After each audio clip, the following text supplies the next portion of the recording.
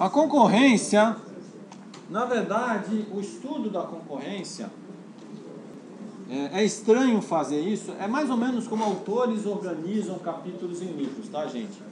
É estranho falar de concorrência. A gente vai estar tá falando, continua falando da mesma coisa, continua falando das transações e continua falando das transações operando concorrentemente. Porque alguém pode dizer, mas a gente não estava falando de concorrência? Tá.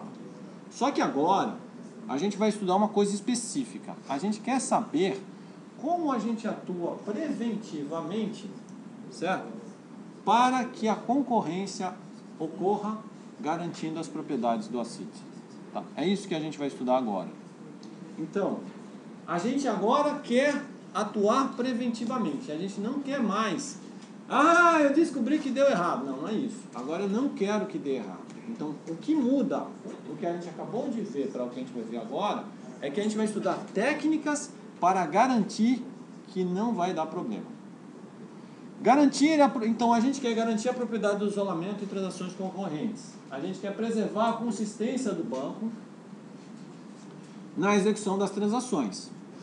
E a gente então, para isso, a gente quer resolver esses conflitos, que a gente viu que esses conflitos de leitura e gravação, eles são a raiz do nosso problema. Tá certo? Para isso, a gente vai ah, primeiro se perguntar, porque isso é fundamental e vocês vão fazer isso agora. Imaginem que vocês quisessem acessar concorrentemente coisas ao mesmo tempo, tá certo? Então, a gente poderia pensar, ok, eu quero fazer um controle de acesso de forma que eu permita ou não permita o acesso. Trave o acesso, faço acesso um de cada vez, tá certo? Então, imagine que eu agora vou criar um sistema de acesso concorrente, porque o cara vai puxar um item, o outro também vai, e a gente vai começar a construir um sistema de travas, tá? de locks, como eles chamam que eu vou apresentar daqui a pouco. Mas a, a minha pergunta é: supondo que eu quisesse fazer esse sistema de travas, onde eu, por exemplo, não permito que pessoas acessem, que aplicações acessem ao mesmo tempo item, ou tenho regras para acesso ao mesmo tempo, tá certo? Eu queria trabalhar com vocês. A pergunta é: uh, o que, como é, quando a gente faz acesso aos dados, né? Qual seria as vantagens e desvantagens de trabalhar com alta granularidade ou baixa granularidade? Então, o que, seria baixa granularidade? Por exemplo, eu travar o acesso a um disco ou a um diretório, tá certo? É, ou baixa, alta granularidade seria arquivo ou byte. Então, vamos, vamos pensar um exemplo aqui, né, de acesso concorrente, tá? Se você estiver usando o sistema operacional puro e não banco de dados, Tá certo? Baixa granularidade seria se eu começo a acessar, se eu abro um arquivo para acesso, uma outra aplicação tenta acessar, ela está travada e não consegue acessar aquele arquivo, tá? Isso seria baixa granularidade. Eu travo o arquivo inteiro, mesmo que eu só esteja mexendo num pedaço dele. Aí o que, que seria alta granularidade? Eu posso, e o banco de dados vai fazer isso, eu posso descer e travar só coisas menores. Por exemplo, eu posso travar só uma tupla, ou só um registro, aquele que eu estou mexendo na hora. E aí, se eu estou mexendo, o outro não mexe, por exemplo. Tá certo? Então, o que eu tô, quero perguntar para vocês é: supondo que eu fosse fazer o controle, e eu tenho a opção de fazer alta granularidade ou baixa granularidade, quais seriam as vantagens e desvantagens de eu escolher uma ou outra? Tá certo? Podem mandar bala aí. Vamos voltar. Por que, que nós falamos sobre isso? É, nós falamos sobre isso porque Agora a gente vai introduzir uma noção que vai ser fundamental para que a gente consiga fazer operações consistentes. É, é, essa é uma coisa que foi desenvolvida historicamente em banco de dados e que até hoje é uma das maneiras mais eficientes de se tratar o problema da concorrência, que é a noção de bloqueio. Tá? Então a noção de bloqueio é fundamental para não só para resolver todos aqueles problemas que a gente mostrou na primeira parte, como também para resolver outros problemas de evitar é, que as pessoas, sei lá, que as aplicações gravem é, enquanto a outra está gravando, enfim, umas coisas mais específicas, tá certo? Então, o que é a noção de bloqueio? A ideia do bloqueio é que você vai pegar um item de dados e vai associar a ele uma variável de bloqueio, que vai dizer se aquele cara está ou não bloqueado é, para você fazer algum tipo de operação. Tá? Então, ele geralmente existe um item de bloqueio, pra, é, existe um elemento de bloqueio para cada item do banco de dados. É, item pode ser a tupla, por exemplo. A tupla é bem comum. Se eu estou mexendo numa tupla, aí eu bloqueio aquela tupla. Mas eu poderia, se eu quisesse, a depender da natureza da aplicação, bloquear até um campo de uma tupla. Certo? Quais são as vantagens e desvantagens que vocês acham, por exemplo, de eu bloquear uma tupla ou o campo de uma tupla?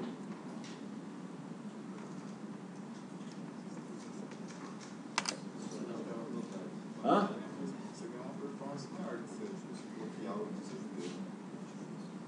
A performance maior se eu bloquear coisas maiores, né? Assim, tipo o disco, ou se eu bloquear a tupla inteira. Vamos falar tupla versus um campo da tupla. Qual é que você acha que tem performance maior? A tupla. A tupla, bloqueia a tupla, certo? O que mais? Hã? Performance sentido, porque é mais fácil de É, É, a performance em termos da ação de bloqueio. Qual a ação de bloqueio que vai funcionar mais rápido? Como você está trabalhando com a tupla toda, é mais rápido, né? Porque o outro você tem que ficar bloqueando pedacinhos. Pessoal, mas se bloquear só o campo, pode liberar os outros campos para. É, aí isso é uma desvantagem de você bloquear a tupla inteira. É, se eu bloqueio a tupla e no fundo eu não precisava bloquear a tupla inteira, eu estou deixando de dar acesso a campos que o outro poderia estar mexendo enquanto eu estou mexendo de cá. Isso é uma desvantagem de eu bloquear a tupla inteira é, comparado com bloquear campos. O que mais?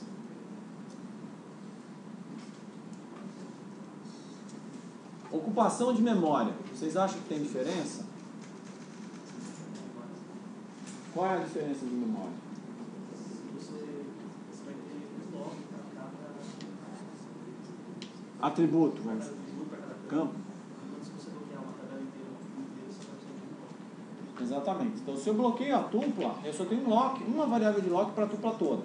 Se eu bloqueio cada campo da tupla, eu vou ter que ter uma variável de lock para cada campo, eu vou ocupar mais memória. Então, a decisão do que eu vou bloquear está muito voltada a espaço, performance, etc. Tá certo? É, quais são os tipos de bloqueio que geralmente a gente estuda, que são os mais comuns? São o bloqueio binário e o bloqueio compartilhado exclusivo. Tá? O bloqueio binário é o mais basicão, assim, é o que a gente pensa logo de cara, não é? E como é que funciona o bloqueio binário? É, bom, você tá, o item é bloqueado ou desbloqueado. Só, são esses dois os estados, certo? Então quando você bloqueia o item, certo? Se o item está bloqueado para alguém, geralmente esse alguém é uma transação, então se o item está bloqueado por uma transação, nenhuma outra transação vai conseguir acessá-lo. Certo? Se o item está desbloqueado, o item pode ser acessado quando requisitado. Então, para isso, a gente tem duas operações atômicas, chamadas lock item e unlock item. Entenda item aí, uma tupla, por exemplo, um campo, depende da granularidade, tá? Mas vamos trabalhar aqui com a ideia da tupla, certo? Então, suponha é, o, o lock item é um algoritmo muito interessante que foi bastante estudado em processamento concorrente, tá certo? Principalmente para evitar problemas de intercalação de operações no processamento concorrente. Que eu chamo de intercalação de operações? A gente não vai estudar isso aqui, porque isso aqui já foge um pouco do banco de dados e a gente já está entrando em programação concorrente, programação paralela, tá certo? Mas a ideia básica é o seguinte: o sistema operacional, quando você tem isso aqui, a, a operação de lock sendo executada em paralelo com uma outra operação de lock, e se ele resolver para otimizar a performance, intercalar as operações, pode dar problema. Tá? Então ela foi desenhada para evitar esse tipo de coisa. Como é que o lock funciona? Ele testa se o lock do item está zero, que significaria que ele está liberado. Né? Então, chama, suponha que alguém chamou a operação lock item. Ela testa se o lock do item, do item está zero, se tiver zero, ele põe no estado 1. Então ele bloqueia aquele item para ele. Então eu estou imaginando aqui uma transação fazendo isso. Certo? Se o item não estiver livre, né, ele vai entrar no else e ele vai entrar numa espera. Ele entra no modo de espera. Tá certo? É muito importante que vocês é, prestem atenção nesse, nesse funcionamento, porque tudo que a gente for estudar daqui para frente depende de você entender essa história da espera. Então a história da espera significa o seguinte: tem um cara que a gente vai chamar de gerenciador de locks, que ele vai botar você numa fila de espera, tá? E quando aquele item se tornar disponível de novo, você vai ser acordado e aí você tenta de novo fazer o lock. Ah, mas André, se eu já fui acordado porque o item está livre, por que, que eu tenho que testar de novo? Né? Isso tem toda uma, uma explicação que eu não vou entrar em detalhes aqui, que tem a ver com processamento concorrente e coisas que podem acontecer estranhas. De alguém pedir na hora que você sair da fila, não sei o quê. Tá. Então isso foi estudado longamente e foi considerado a melhor solução para você trabalhar com o algoritmo. Tá certo? Então, esse é um clássico algoritmo de lock. Todo mundo entendeu? O unlock, é, eu estou imaginando que alguém tem o lock, então esse controle é feito pelo gerenciador de locks, mas só pode pedir unlock quem tem o lock, tá certo? Aí na hora que ele pede o unlock, ele coloca o estado de lock em zero, e aí o gerente de transações vai ver é, quem é o próximo da fila que está esperando, tá certo? E vai acordar essa transação para ela ir pegar o lock. Tá certo? Ela chega lá, tem alguém esperando, acorda o cara, acorda aí, aí o cara vai lá pegar o lock. Então, quando eu tenho um lock binário, geralmente, antes de ler X ou gravar X, eu peço o lock se eu ainda não tiver. Tá certo? E eu vou dar o unlock depois de todas as operações de ler e gravar, apenas se eu tiver o lock. Tudo bem? Quais são as limitações do lock binário? Quem é que pode dizer?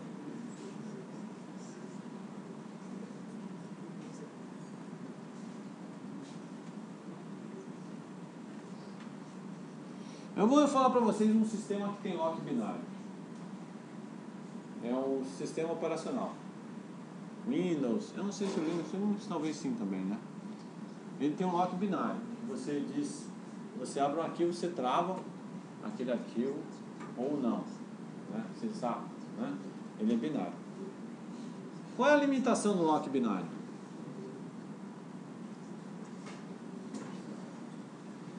Hã? Tá, mas tudo bem. É, é, vai ficar. Você, você vai criar problemas de espera. Né? Mas em que casos é, pode ser que eu, eu poderia ter várias pessoas acessando ao mesmo tempo e não houvesse problema? Em que cenário, por exemplo, uma tupla, eu poderia ter vários caras acessando ao mesmo tempo e não teria problema? Se fosse só leitura. Se fosse só leitura. Então, note, um problema desse lock é que ele não diferencia a intenção de quem está pedindo o lock. Certo? E às vezes a intenção do cara é só ler. Ele só quer ler. E aí, se eu só estou lendo e não vou gravar nada, eu poderia compartilhar o meu lock com outros caras que vão ler. Então, se os sistemas operacionais tivessem essa diferença também, suponha que você abriu um texto lá no OpenOffice. Mas eu, eu já digo de cara para o sistema operacional que eu só quero ler o texto. Não é?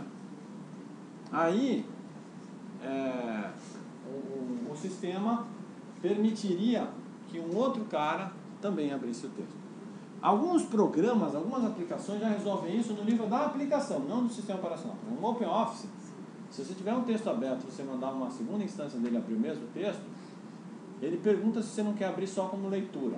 Mas não, isso não é uma funcionalidade do sistema operacional. Isso é uma coisa que o OpenOffice faz dele com ele mesmo, tá certo? Mas se, por exemplo, você tivesse duas aplicações diferentes fazendo a coisa naquele arquivo, você não conseguiria porque o sistema operacional não tem esse tipo de funcionalidade.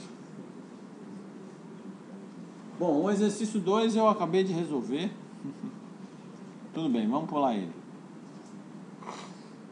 Então, se duas, duas operações que bloqueiam, que apenas leem o registro, se precisam se bloquear, bloquear mutuamente, não. Ah. Eu não entendi por que isso é um problema do lock. Porque não é só a pessoa não pegar o lock se ela quiser só ler. Não, porque. Por que, que o lock continua sendo necessário? Se eu só quero ler, mas alguém quer gravar, tá? isso dá problema. Porque o cara pode gravar enquanto eu estou lendo. Certo? Então, na verdade, eu tenho que diferenciar apenas. Não é que eu não, não pegar lock vai fazer que ninguém saiba que eu estou lendo aquele cara ali. E eu preciso dizer, ó, pessoal, estou lendo aqui, não entra agora. Ah, não, não. Eu quis dizer, todo mundo que vai, que vai ler ou escrever no arquivo só pega o lock se for escrever. É, mas aí é o seguinte, tem 10 caras lendo. Aí tem um que vai e pega lá o lock para escrever. O que, que esses caras que estão lendo vão fazer? Não sei.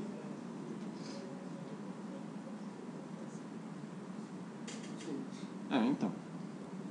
Porque aí tem que ter uma regra que diga. E é isso que a gente vai ver agora. Eu tenho que ter uma forma de diferenciar quem está lendo e quem está escrevendo. E é por isso que se criaram locks que a gente chama compartilhado e exclusivo. O que é um lock compartilhado? O lock compartilhado é aquele em que a gente sabe que os caras que vão usá-lo só querem ler. Como os caras que vão usar só querem ler, tá certo? Ele pode ser compartilhado, tá? Então mais de uma transação pode empregá-lo. Mas ele não aceita que ninguém entre na brincadeira para gravar. Não pode. Então enquanto a galera estiver ali compartilhando log, todo mundo ali de boa na leitura, tá? ninguém pode chegar lá para pedir para gravação. Não pode. Vai ter que esperar se pedir. O que, que é um bloqueio exclusivo? O bloqueio exclusivo é para aquele cara que quer gravar. Esse bloqueio ele vai servir somente para uma transação.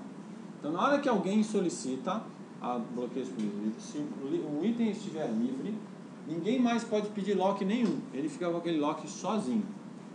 Certo? Então, a matriz de compatibilidade é essa aqui embaixo. Ó.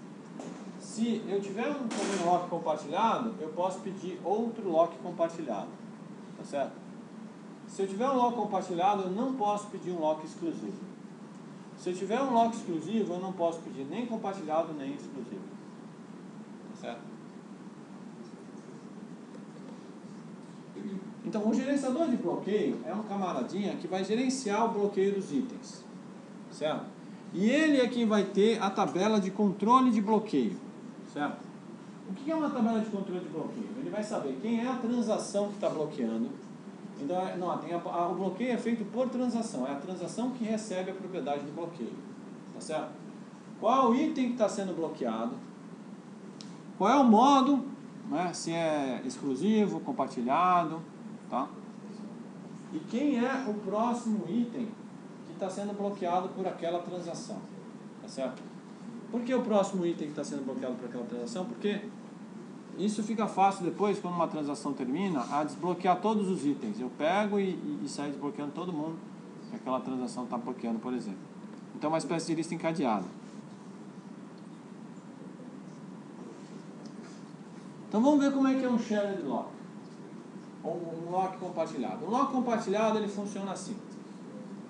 É, se o item estiver no modo unlocked, então ele vai para o red, red, locked ou shared locked são sinônimos. Tá? Tem autores que chamam de red lock, tem autores que chamam de shared lock e tem autores que usam os dois.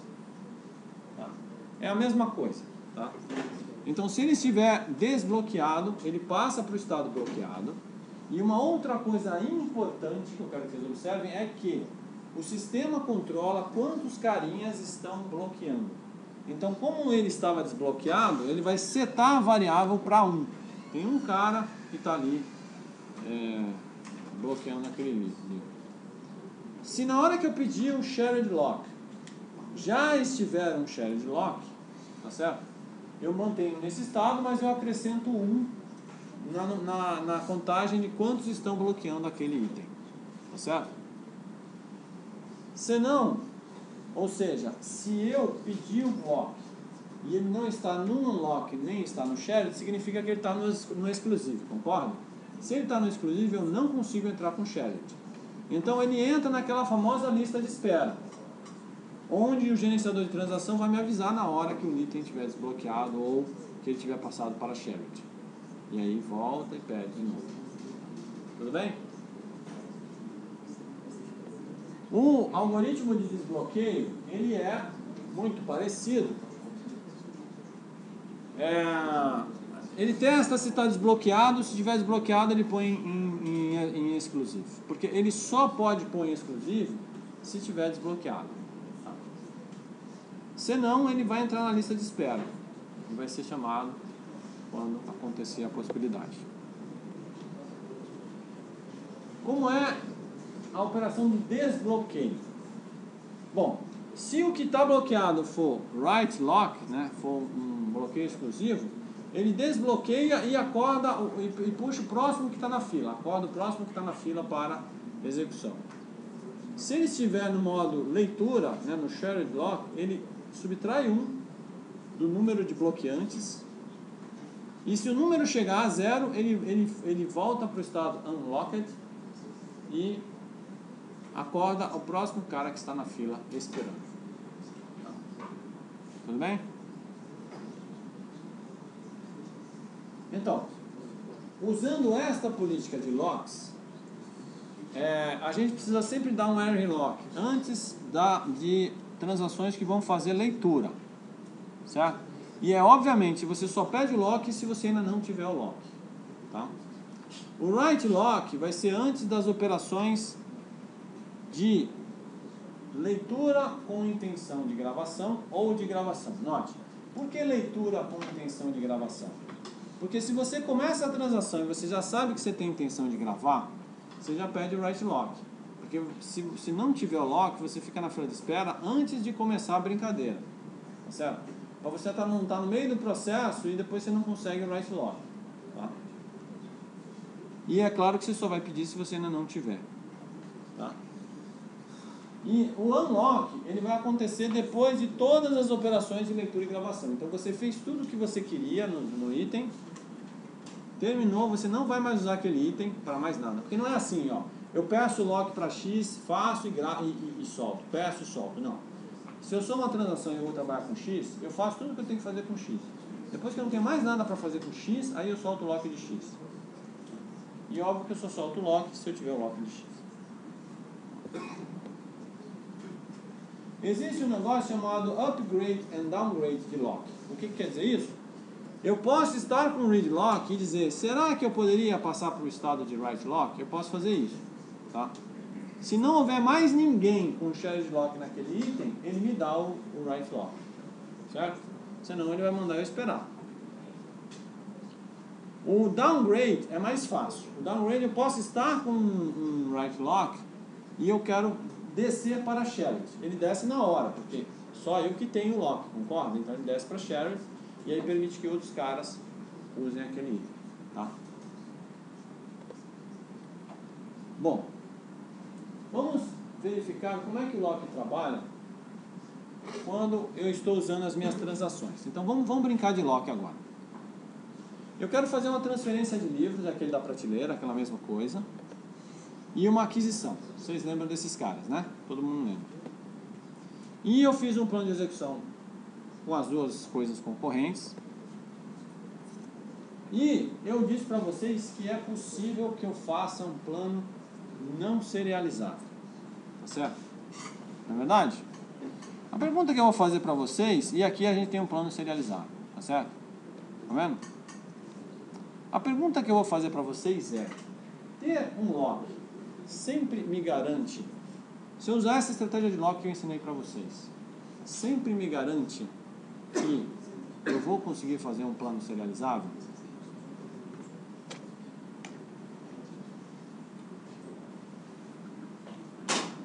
Vamos pegar esse plano e vamos colocar os locks nele e vamos ver se seria possível fazê-lo. Porque isso é muito importante vocês entenderem, tá, gente? Muito importante.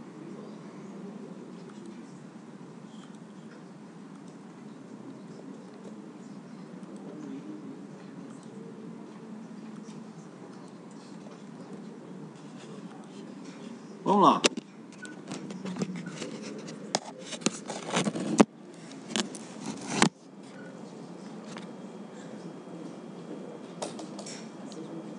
T1, ele vai ler X com intenção de gravar, concorda? O que, que ele faria aqui? Um write lock.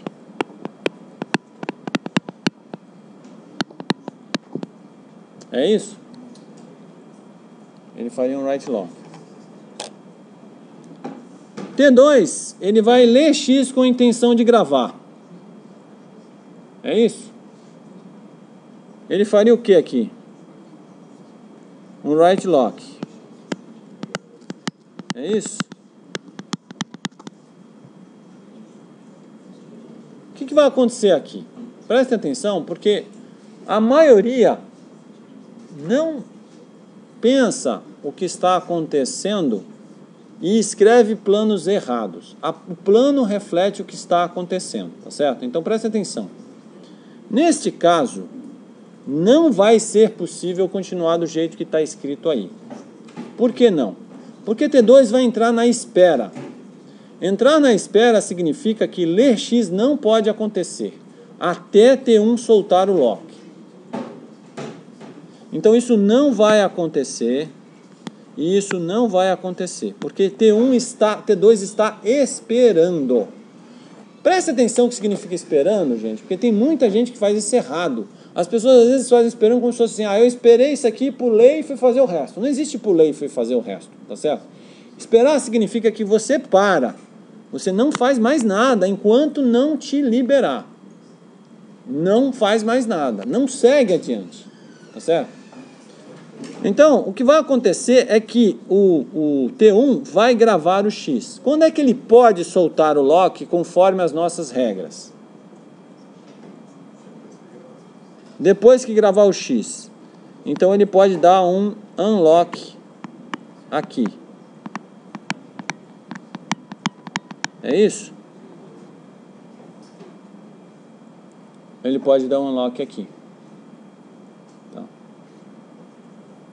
E aí, o T2 só vai conseguir ler na hora que ele deu o unlock, que liberou. Então, o ler X só pode acontecer aqui certo? Ele só pode acontecer aqui. Bom, eu vou perguntar de novo. É possível eu criar um plano não serializável usando locks?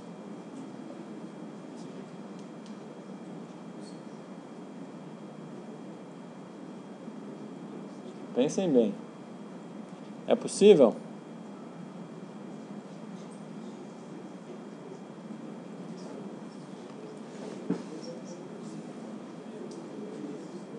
plano, quando ele não é serializável, ele envolve só uma variável?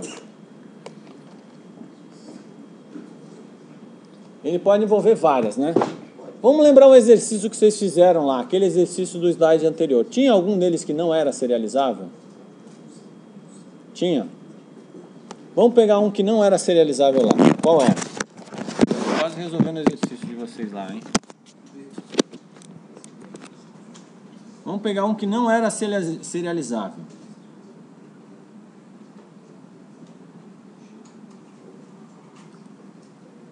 Não, não é aqui. Não é aqui mesmo.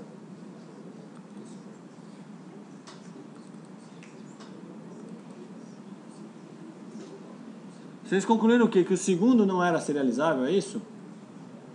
Ah, peraí que eu tenho a resposta do segundo. Ah não, mas vamos pegar o segundo mesmo aqui. Sem a resposta.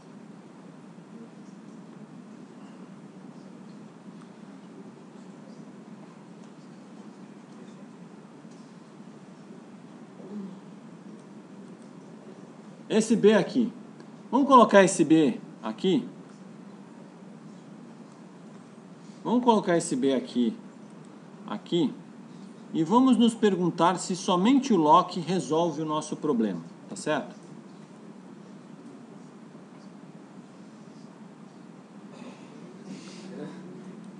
É, até que ficou interessante assim, né?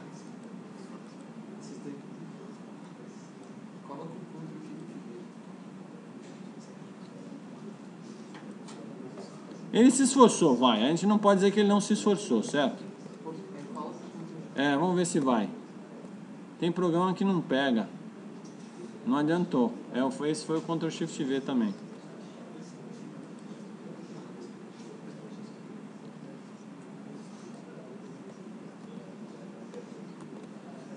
É triste, mas é verdade. Às vezes a gente tem que fazer isso na vida. Pronto. Ficou meio pequeno, né?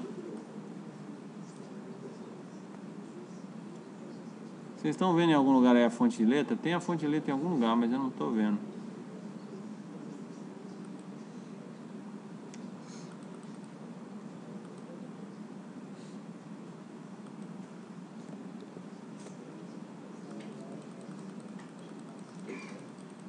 Esse cara aqui, vocês concluíram que ele não é serializável, é isso?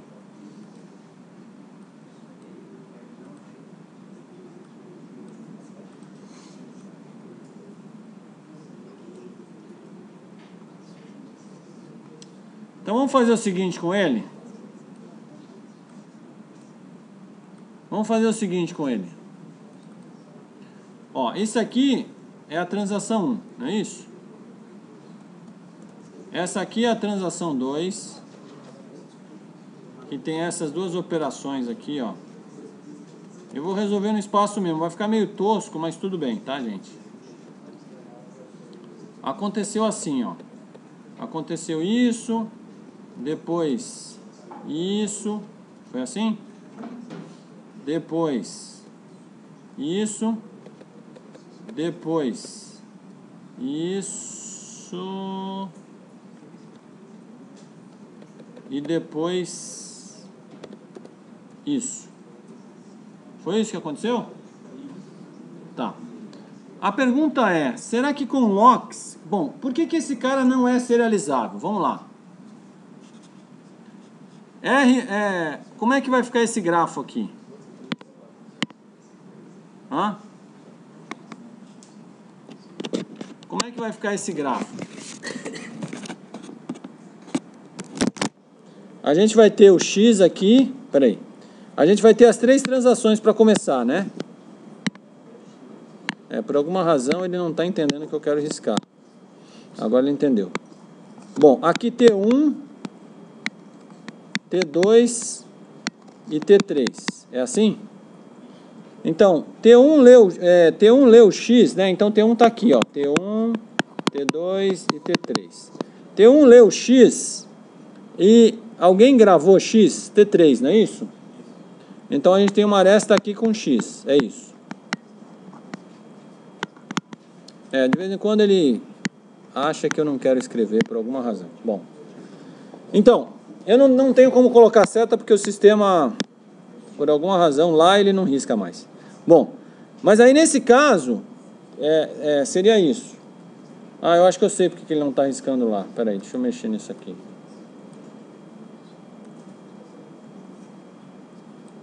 Pronto.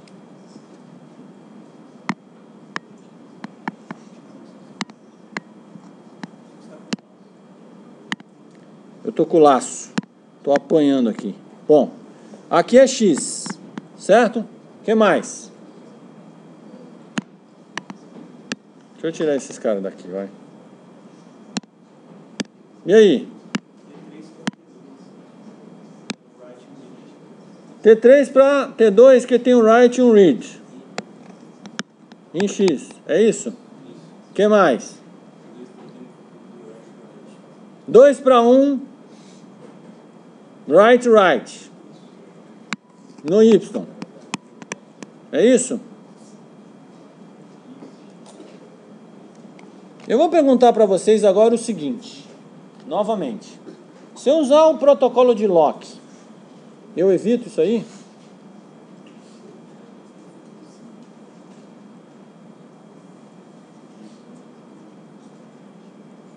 Vamos, vamos colocar os locks aqui para ver? Vamos colocar os locks aqui. Então a gente vai fazer o seguinte, eu vou pegar esse slide, vou copiar, vou colar ele, aí eu tenho uma duplicata dele, certo? Ótimo. Não é esse que eu quero. Eu quero esse. Pronto. Ok. ah, bom. Deixa eu fazer o seguinte agora. Eu vou vir aqui para a parte de texto. E eu vou criar espaços aqui para eu poder anotar os locks, tá? Então vamos botar uns espaços aqui para eu poder anotar os locks aqui agora. Aqui, vamos lá. Aqui eu vou ter o quê? Uma leitura, é um red lock, é isso? Mas é no Y. É no Y, certo? Aqui ele vai dar unlock. Vai porque ele não vai fazer mais nada com X, concorda? Tá.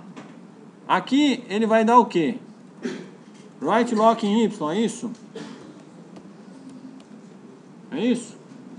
Aí ele vai ler e vai gravar Y. E vai dar unlock Y.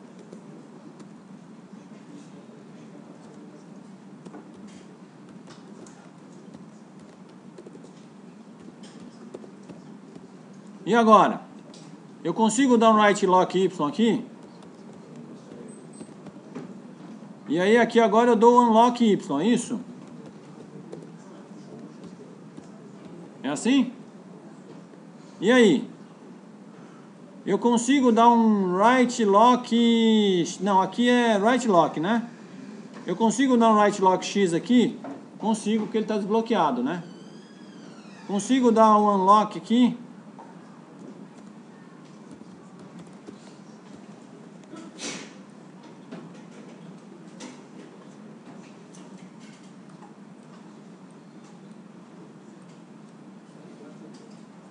Aí aqui agora eu vou dar um read lock x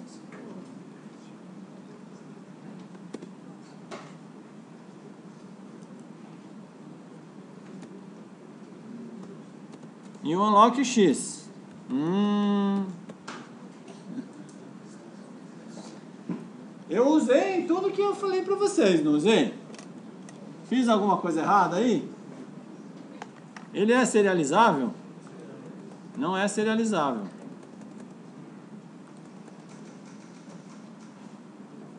Não é serializável. E aí?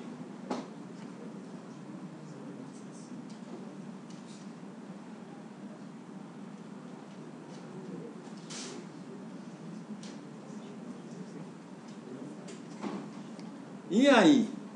É a pergunta. Alguém tem ideia de como é que eu evito que isso aconteça? Isso foi refletido longamente na computação. Longamente eles chegaram a uma conclusão simples, na verdade.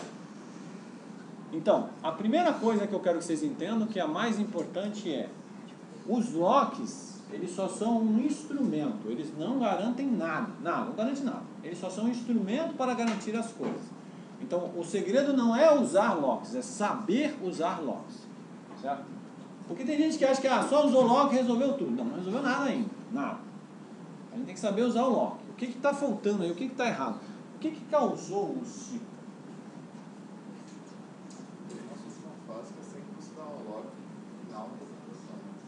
Hã? Dar um unlock no final da transação resolveria?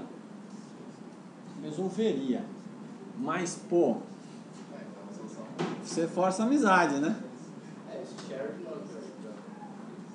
Hã? Não sei se ele é o problema, na verdade, porque ele seria necessário, né? Senão eu vou. Tem um jeito de resolver sem precisar abrir mão desse tipo de lock que para mim ele é importante.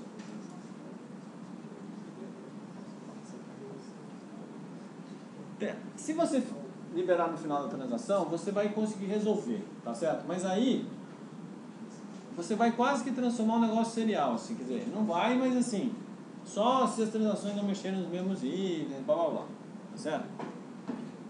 O que, que seria uma solução mais razoável? Vocês conseguem imaginar uma solução mais razoável? É isso? Bom, então eu vou anunciar o que é, não vou explicar hoje, porque a aula já está quase terminando, para vocês pensarem, refletirem, tá certo?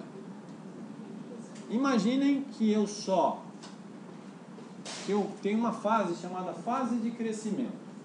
Cada vez que eu pego um lock, certo? Enquanto eu estou pegando locks, eu só posso pegar locks. No momento que eu soltar o primeiro lock, eu, transação, transação. Eu soltei o primeiro lock, eu nunca mais posso pegar locks até o fim da transação. Então eu só posso soltar. Então é o que a gente vai chamar de two-phase lock. Eu só posso ou pegar, soltei o primeiro, soltei e acabou, acabou a brincadeira. Agora só eu, eu só solto, tá certo? Aí eu phase lock, eu estou garantindo para vocês que não tem como fazer um plano não serializado. Não tem. Aí se vocês quiserem, vocês testam em casa esse aí. Não.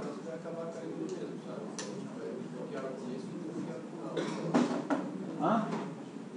Nesse caso, vai cair no mesmo que o início, vai bloquear o começo e bloquear o final. Não, não porque você pode, na hora que você não for usar mais locks, e você pode querer fazer outras coisas, você solta os locks. E você pode, você não precisa soltar todos de uma vez. Eu posso, por exemplo, pegar o lock do Y, certo? E como eu não vou mais pedir lock, logo depois de soltar, de pegar o lock do Y, eu solto do X. O X fica liberado. E eu nem terminei minha transação ainda. Mas por que, que eu posso soltar o do X logo depois desse right lock aqui? Porque eu sei que daqui para baixo eu não pego mais lock. Então, beleza. Então não é no final, é no ponto onde eu sei que eu não vou pegar mais lock. Dali para baixo eu libero. O mesmo vale para todos os outros. Tá certo? Para todos os outros.